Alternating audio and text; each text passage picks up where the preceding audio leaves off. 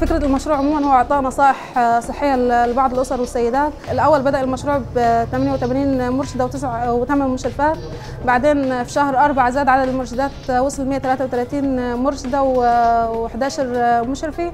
الأول في بداية المشروع كان أغلبية المرشدات والمشرفات مش يعني مش متقبلين فكرة إن هم يذهبوا الأسر البيوت أو التعامل مع مع الأسر. ما كانش زي دلوقتي دلوقتي عملوا علاقات وبقوا يعني بقوا يفيدوا الناس أكتر من الأول.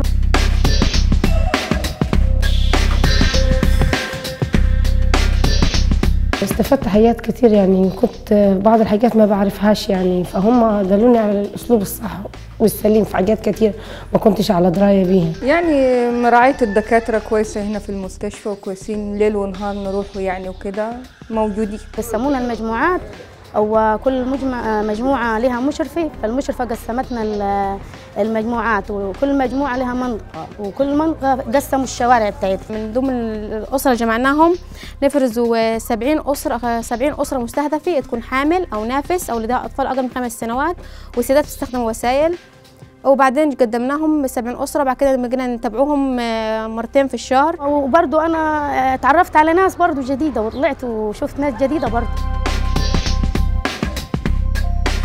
معلومات أنا ما كنتش أعرفها شخصيا. تعرفت على منطقة بلدي يعني أهل بلدي أكتر.